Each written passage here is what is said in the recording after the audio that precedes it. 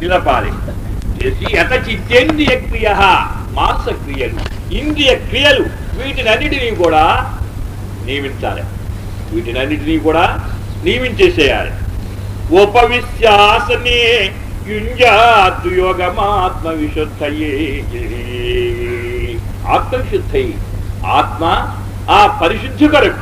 ఆత్మ పరిశుద్ధం కావటానికై అలా కూర్చుండి యుంజాత్ యోగమును అభ్యసించవలయును ఇలా చేయాలి శ్రమ ఇలా వేసుకోవాలి ఆసనం?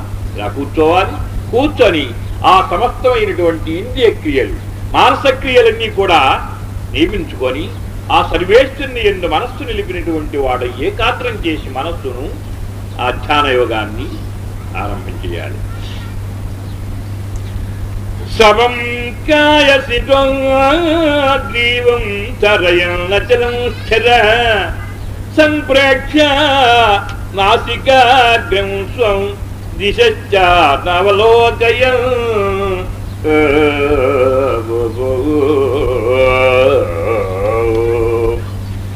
శవం కాయ శిరోగ్రీవం. కూర్చున్న తరువాత సవం కాయ శిరోగ్రీవం. తల మెడ ఈ యొక్క శరీరం మూడు ఒకే లైన్లో ఉండాలన్నాడు. మూడు కూడా వంగకూడదు. తలకాయ వంగకూడదు మెడ వంగకూడదు శరీరం కూడా వంగకూడదు. ఒకే ఈ మూడు ఒకే డిగ్రీలో ఉండాలి. ఏది శరీర క్రింద ఉన్న శరీరం మెడ శిరస్సు. సమం కాయ శిరో గ్రీవం.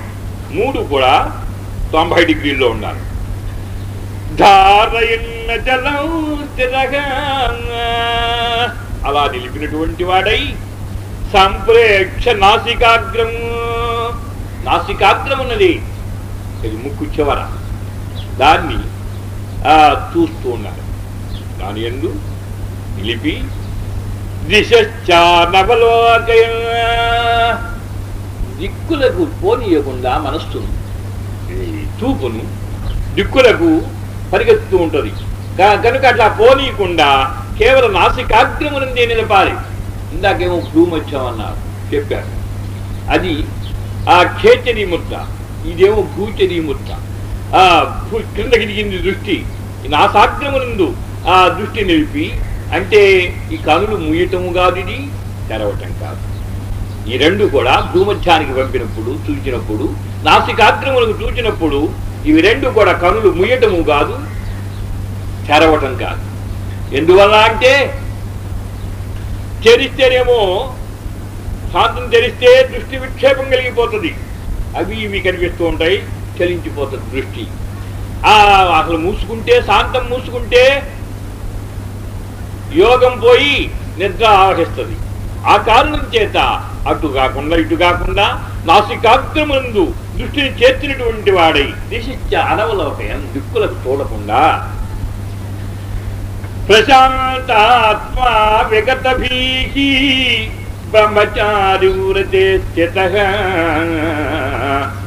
मनः संयम्य मच्चित्वं युक्त आसीत् मत्परः।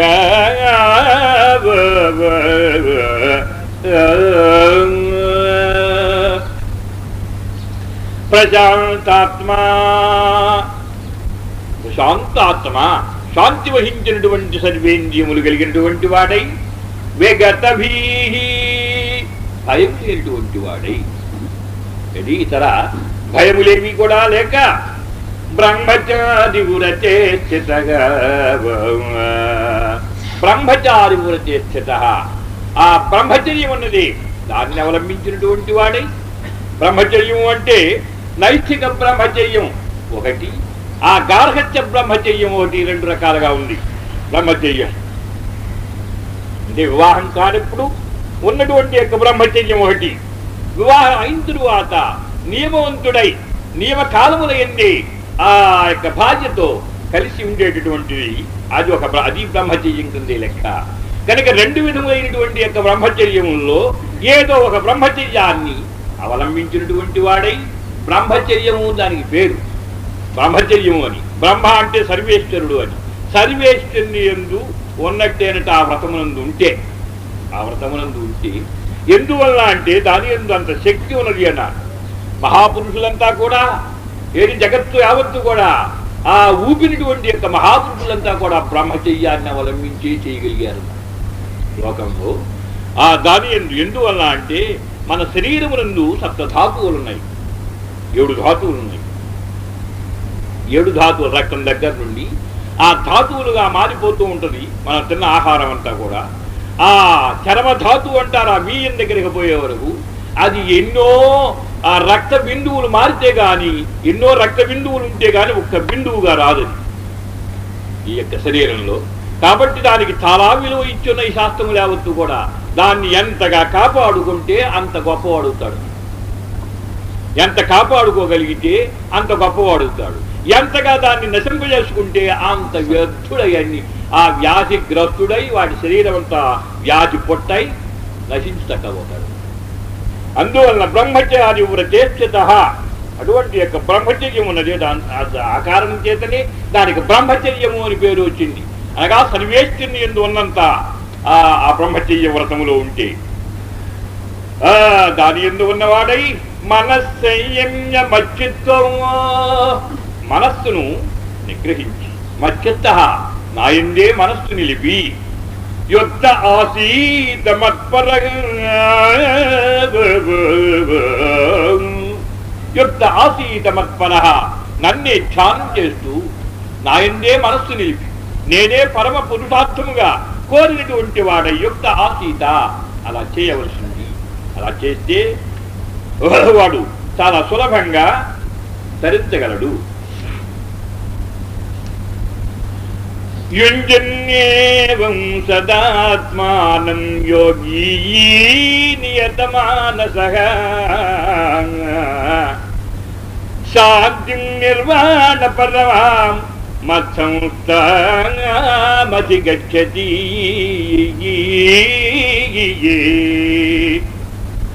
యోనిజన్యేవం సదాత్మానం యోగీ నియతమానస యుంజందేహం సదాత్మానం యోగి నియతమానస ఇలా యోగాన్ని అభ్యసిస్తూ సదా ఒకప్పుడు కాదు ఏదో ఒక ఒక రోజు చేసి లేదు ఒక నెల చేసి తరువాత వినవించటం కాదే. ఎప్పుడూ చేయాలన్నాడు. బ్రతికున్నంత కాలం కూడా అలా క్రమంగా క్రమక్రమంగా క్రమక్రమంగా మెట్లు ఎక్కి బయటికి పోవాలి కానీ దిగరాదు వెనక్కి దిగి రాకూడదు. అది ఒకడు ఆరంభ శూరత్వంగా ఆరంభం చేస్తాడు. ముందు ఏదో విని ఆ చాలా గొప్పది ఈ విషయం అని చెప్పి అనుకుంటాడు. అంతవరకు మంచిది. ఆ ఆరంభం చేసి పెద్దగా చేసి ఆ దాంట్లో విసుగు పొందేసి వెంటనే వెనక తిరుగుతాడు. వెనక తిరిగి ఏమీ ఉండదు. వాడి దగ్గర ఒట్టివాడు నాణ్యం. ఒట్టివాడైనా కొంతసేపు మళ్ళీ ఆ మంచి విషయాలు కావాలని కోరతాడు. వీడికి అది కూడా ఉండదు నాడు. అంతా పోతుంది. ఏమీ లేకుండా పోతుంది. సదాత్మానం యోగి నియతమానస సదా ఆత్మానం యోగి నియతమానస నియతమానసుడై అనగా మనస్సును నిగ్రహించుకొని శాంతి నిర్వాణ పరమాం మత్తంస్తామధిగచ్చతి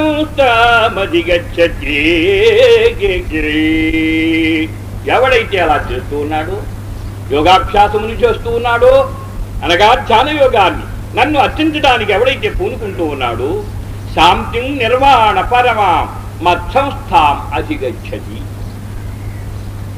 ఆ నాయంతో ఉన్నటువంటి యొక్క పరమ శాంతి ఉన్నది.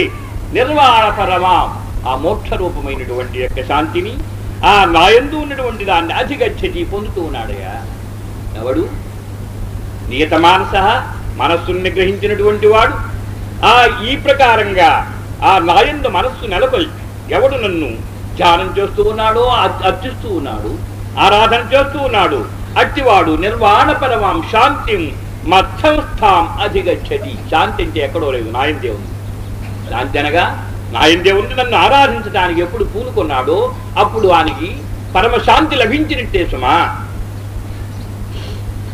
నాట్యస్నతస్తు యోగోస్తి నైకాంతమనస్నత నాతి స్వప్నశీలస్య జాగ్రతో నైవ చార్జున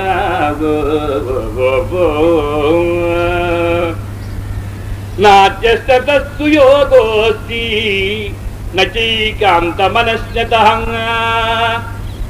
నాట్యస్నతస్తు యోగోస్తి ఈ భగవద్ ఆరాధన రూపమైనటువంటి చెప్పిన యోగం ఉన్నది ఏది నిష్కామ కర్మల ఏది ఫలాపేక్ష వదలి ఆ నిష్కామ కర్మయోగం ఉన్నది ఈ యోగము నాట్యస్నతస్తు యోగోస్తి.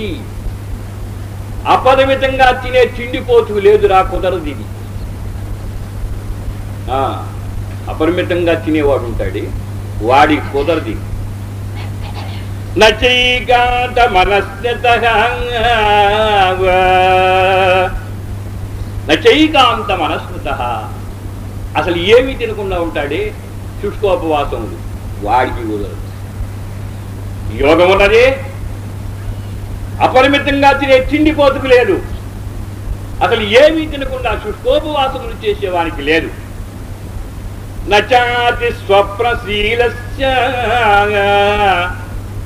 అపరిమితమైనటువంటి నిద్రపోతున్నాడే నిద్రపోయే వానికి వానికి లేదు. జాగ్రత్త నైవచార్జునంగా ఎప్పుడు మేలుకుని ఉంటాడే అసలు నిద్రే లేకుండా పోకుండా వాడికి లేదురా కుదరదు. ఎంత సొంపుగా చెప్పేశారు ఆలోచించు. భగవద్గీత అంటే ఆ ఇలాంటి విషయములు చెప్పవలను అంటే వాడికే సరిపోయింది. వాడికే సరిపోయింది. అంతేగాని మిగిలిన వారి వల్ల కాదు అలా చెప్పాలను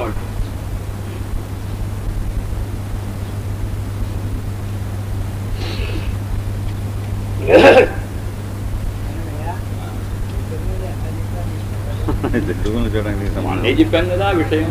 ఓ గంట ఒక గంటలో సరిపోతుంది. ఆ, నేను ఇందాక చెప్పా కదా ఇప్పుడు మనకు ఐదు అధ్యాయాలు గడిచినాయి సగం ఇరవై రెండు రోజులు గడిచిపోయింది. గడిచిపోయింది. ఏం రోజుకు ఒక అధ్యాయం లాగేసేయచ్చు. రోజుకు నాలుగు అధ్యాయాలు లాగేసేయచ్చు. చెప్తూ ఉంటే దాని విషయములను దాన్ని ఆ విశదీకరిస్తూ ఉంటే వ్యాఖ్యానం చేస్తూ ఉంటే ఎంతైనా పెరిగిపోతుంది. ఎన్ని రోజులైనా చెప్పవచ్చు. అది ఎంత కొద్దిలోనైనా ముడిచి ముందు ముడుచుకోవచ్చు. దాంట్లో ఇదేముంది ఉంది. నాట్యస్నతస్తు యోగోస్తి నైకాంత మనస్నత పరిమితంగా భోజనం చేయాలి. పరిమితంగా నిద్రపోవాలి. అట్టివానికే ఈ యోగం రా నాట్యస్నతస్తు తిండిపోతుకి ఏమి యోగం? ఎత్తువా వాడికి తిండే సరిపోయాయి వాడికి తిండే సరిపోయాయి తినడంతో శరీరం అంతా కూడా మొత్తెక్కిపోయి వాడు ఏం చేయగలుగుతాడు? ఏమి చేయలేడు. కాబట్టి తిండిపోతైనటువంటి వానికి యోగము లేదు సుమా. యోగాన్ని ఆచరించలేడు వాడు. కానీ తినకుండా మరి శుష్కోపవాసములు చెబుతున్నాయి. చెబుతున్నారు కొంతమంది ఉపవాసం ఎంత? ఉపవాసం చేస్తే అంత మంచిది. ఏకాదశి ఉపవాసం మంచిది ఏమి అంటుకుండా అంటుకోకుండా ఉంటుంది మా ఊళ్ళో ఒక ఆయన చెప్పాడు బ్రాహ్మణుడు. ఆ యొక్క అసలేమిటో ఆ యొక్క ఏకాదశి ఉపవాసం ఉంటే ఏమి ఆకలి ఏమి ఆకలి ఏమి ఆకలి మండుకు పోతూ ఉండే లోపల. ఇంకా వీడికి భగవద్గీత ఇంకుదేది ఎక్కడ? భగవద్ విషయం కుదరదు అదే సరిపోయా లోపల మంటే. తినకపోతే ఏదో ఏదో కాస్త ఈ ఏకాదశి చుట్టూ పడినాయి ఆ దానివల్ల ఇక ప్రయోజనం ఏమిటి? ఆకలే సరిపోయా. సర్వేశ్వరుని ఎక్కడ ఆరాధన చేస్తాడు వాడు? ఆ కారణం చేత నా చేయికాంత మనస్థిత అసలు తిండి తినకుండా ఉండకూడదు. ఆ ఎక్కువ తిండి పనికిరాదు. అపరిమితమైనటువంటి తిండి పనికిరాదు. అసలు ఏమీ తినకుండా ఉంటే శుష్కించి ఇంద్రియములు యావత్తు కూడా శుష్కించి కూర్చోవటం కూడా కూర్చోలేడు వాడు. ఇక ఇక యోగం ఏం చేస్తాడు? నచాతి స్వప్నశీలస్యంగా ఎక్కువగా నిద్రపోయేవానికి లేదురా యోగం. ఎప్పుడు పడితే అప్పుడే వచ్చి ఆ, ఎలా పిలి పిలవ ముందే దానంతటగానే వస్తూ ఉంటే ఎట్లా? అట్టి వానికి ఆ యోగం ఏమి చేయగలుగుతాడు? జాగ్రత్త నైవచార్జున ఆ మేలుకొని నిరంతరం జాగరణం చేసేవారికి కూడా లేదు. ఇందువలన నిద్ర ఎందుకు? నిద్ర మన యొక్క ఆయువులో సగం కాలం దానికి వినియోగించాడు సర్వేశ్వరుడు. నిద్రకు రాత్రి సగం పగల సగం. పగలల్లా పనులు చేసి చేసుకోండి అన్నాడు. రాత్రి నిద్రపోవలసింది. ఎందుకు అంటే ఈ యొక్క ఇంద్రియములన్నీ కూడా శాంతి వహించడానికి శాంతి వహించాలి. నిద్ర లేకుండా రెండు రోజులు నుండి ఏమవుతుంది? శరీరం దెబ్బలిపోతుంది ఏ పని చేయలేడు వాడు. తూగిపోతాడు. శాంతి లేదు. శాంతి వహించటలా విశ్రాంతి లేదు. ఆ కారణం చేత అలా అవుతూ ఉన్నది. ఆ కారణం చేత సగం కాలం నిద్రకు వినియోగించేశాడు సర్వేశ్వరుడు. ఆ, అలా జాగ్రత్త ఎప్పుడు జాగరణ చేసేవాడు నాడే వాడికి కూడా లేదు. ఈ యొక్క యోగం. యుక్తార విహారస్య యుక్త చేష్టస్య కర్మసు యుక్త స్వప్నావబోధస్య దుఃఖ. యుక్తాహార విహారస్య. ఆ యుక్తాహార విహారుడుగా ఉండాలి. ఆహారం పరిమితంగా ఉండాలి. విహారం కూడా.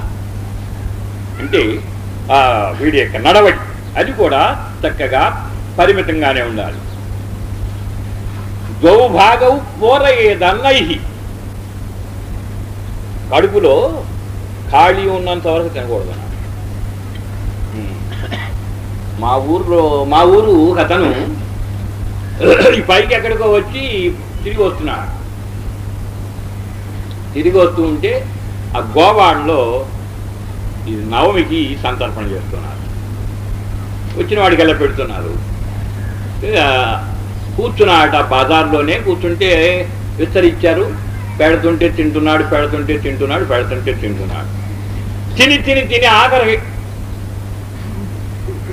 అంటే కింద రేట్లా మింగుడు పట్టలా ఏమిటిరా మింగుడు పట్టలేదు అని ఇట్లా పెట్టుకుంటే ఇక్కడ దాకా ఉంది. ఏలు రేలుకు అందుతుంది. ఆహారం అక్కడ దాకా వచ్చేసింది. పూడి వచ్చేసింది ఇంకేం దిగుతుంది శూన్య ప్రదేశం లేదు. శూన్య ప్రదేశం లేదు ఆకాశం లేదు. లోపల. ఆకాశం లేదుగా ఆకాశం పూరించిపోయింది. ఇంకేం దించేస్తాడు ఆరే పైకెల్లా వచ్చింది అని లేచి అవతలకు పోతామంటే లేవలేకపోయాడు. బరువెక్కిపోయి అక్కడే గడిగాడు చెయ్యి. అక్కడే కడిగి ఆ ప్రక్కనే ఉంది అరుగు బజార్ అరుగు ఆ అరుగు మీద పడుకున్నాడు. పడుకుంటే ఉచ్ఛ్వాస నిశ్వాసములు వెడటల్లా ఆటలా ఖాళీ లేదుగా లోపలికి పోవటానికి బయటకు రావటానికి మీరు ఖాళీ ఉంటే కదా ఆ వాయువు సంచరించడానికి అట్లా పడుకుని అట్లా పడుకుని రెండవ రోజు సాయంకాలం వరకు అట్లాగే పడిన. అప్పటికి ఇచ్చింది కొంత ఖాళీ. కొంత ఖాళీ ఇచ్చి మెల్లగా లేచి చల్లబడిన తర్వాత ఇంటికి చేరాడు. చావటం కూడా ప్రాప్తిస్తుంది అంటాడు సమయంలో చచ్చిపోవటం అంటే ఏముంది? చావటం కూడా ప్రాప్తిస్తుంది. ఏమిటయా అంటే క- మితి తప్పిపోయింది ఆ ఉన్నది. మరి అసలు అలా ఎలా తినగలుగుతారో అది మనకి అర్థం కాదనుకోండి వాళ్ళకి తెలియాలి.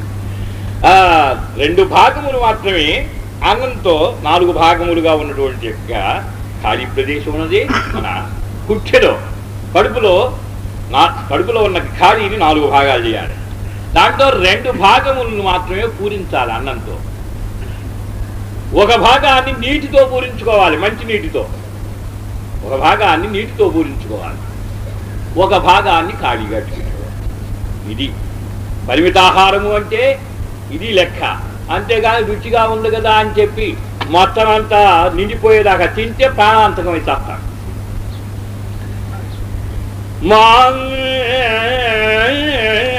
యుక్తాహార వికారస్య యుక్తచేష్టస్య కర్మసు తరువాత కర్మలు కూడా కర్మల ఎందుకు కూడా యుక్త చేష్టస్య తగినంత వరకే చేయాలి. తగినంత వరకే చేయాలి పని కూడా ఒక్కొక్కడికి ఇది ఆశ తీరక ఆశ తీరక రాత్రింబవుడు చేస్తూ ఉంటాడు. రాత్రింబవుడు చేస్తూ ఉంటాడు. ఏమిటి? ఏదో సంపాదించాలని ఏదో చేయాలని. ఆ ఆశ బాధిస్తూ ఉంటుంది దురాశ. అందువల్ల అలా చేసినందువల్ల ఏమిటి అంటే శరీరం అంతా కూడా దీన్ని కొలది కాలంలోనే వాడు ఆరోగ్యహీనుడై దెబ్బతింటాడు అలా చేయకూడదు ఇప్పుడు కూడా. యుక్త చేష్టస్య కర్మసు. ఎంతవరకు చేయవలసి ఉన్నదో శరీరాన్ని ఎంతవరకు శ్రమ పెట్టాలనో అంతవరకే చేయాలి. యుక్త స్వప్నావబోధస్య. యోగో భవతి దుఃఖ యుక్త స్వప్నావబోధస్య తగినట్టుగానే ఉండాలి. నిద్ర జాగరణం కూడా. నిద్ర జాగరణం రెండు కూడా తగినట్టుగానే తగిన కాలం ఉంది పరిమిత కాలం ఉంది నిద్రపోవాలి. పరిమిత కాలం ముందు జాగరణ చేయాలి. అంతేగాని ఎక్కువ నిద్ర పనికిరాదు. ఎక్కువ భజన చేసి అక్కడ ఆ అచ్చంపాలెం ఉంది ఉంది అక్కడ పడుకున్నాడు ఒక ఆయన. భజన చేసి పడుకున్నాడు. పడుకుంటే కొంతసేపటికి రొమ్ము మీదుగా వెళ్తుంది ప్రవాహం. వర్షం. కురిసి పెద్ద ప్రవాహమై రొమ్ము మీదుగా వెళ్తుంటే అప్పటికి వచ్చిందట మెలకువ. ఇంత వాన పడుతుంటే మెలకువ లేదు. నిద్రపోతూనే ఉన్నాడు మహానుభావుడు. ఆ పైగా మునిగి పైగా వెళ్ళిపోతుందట ప్రవాహం. ఏమిటి అంటే ఆ నిద్ర అంత గాఢంగా ఉంది. అంత గాఢంగా పట్టి ఉంది. అది పనికిరాదు అంటూ ఉన్నారు. యొక్క స్వప్న అవబోధస్య ఆ పరిమితంగానే ఉండాలి నిద్ర. తరువాత ఆ మేలుకొని ఉండటం కూడా పరిమితంగానే ఉండాలి. అలా ఉంటే యోగో భవతి దుఃఖ అట్టి వానికి ఈ యొక్క యోగం ఉన్నది. సమస్త దుఃఖములను హరి హరించేటటువంటి యొక్క యోగం చాలా సులభమురా. అట్టివానికి కుదురుతుంది. ఎట్టివానికి పరిమితమైన ఆహారం పరిమితమైన విహారం పరిమితమైనటువంటి యొక్క కర్మలు పరిమితమైనటువంటి యొక్క నిద్ర పరిమితమైనటువంటి యొక్క జాగరణం ఎవరికి ఉన్నాయో అట్టివారికి అట్టి వారికి ఇది ఆచరించడం చాలా సులభము. నిద్రపోతూ రెండవ వాడి శరీరం గోగుతున్నాట నిద్రపోతూ ఒరేయ్ నా ఏమిటో నా కాలు పోతాయిరా అన్నాడట అవతల వాడు నా కాలు ఎక్కడికి వచ్చిందిరా అన్నాడు నిద్రలో ఆ నిద్ర అంత అంత తనమైన అవస్థలో ఉంది. అది.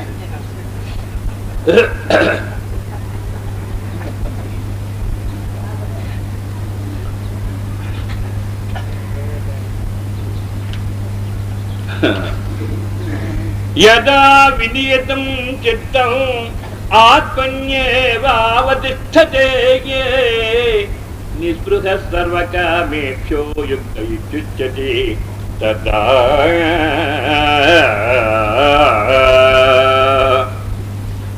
యదా వినియతం చిత్తం ఆత్మన్యేవావతిష్టతే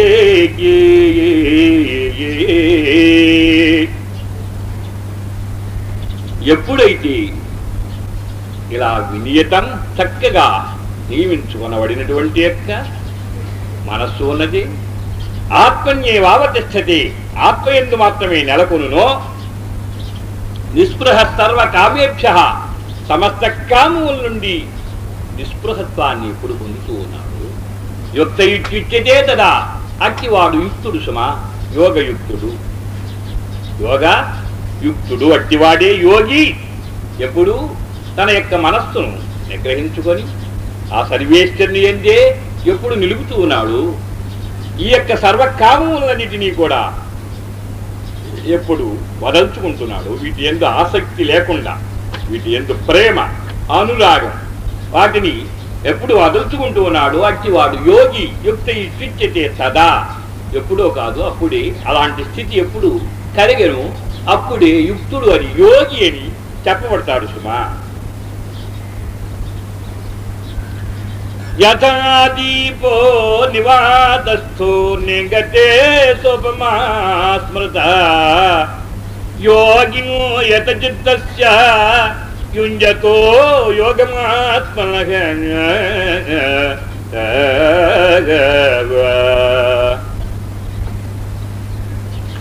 యథా దీపో నివాదస్థో నింగతే సోపమా స్మృతం యథా దీపో నివాతస్థ గాలి ఏమీ లేనటువంటి చోట కదా దీపాన్ని పెడితే నేంగతే సోపమాస్మృత ఏమి చెలించదు. ఆ దీపము మొగ్గ ఉన్నది ఒకే ఆకారంగా మండుతూ ఇటు అటు కూడా కదలదు. గాలి కొట్టినప్పుడు ఇటు అటు చలిస్తుంది అది. గాలి లేనప్పుడు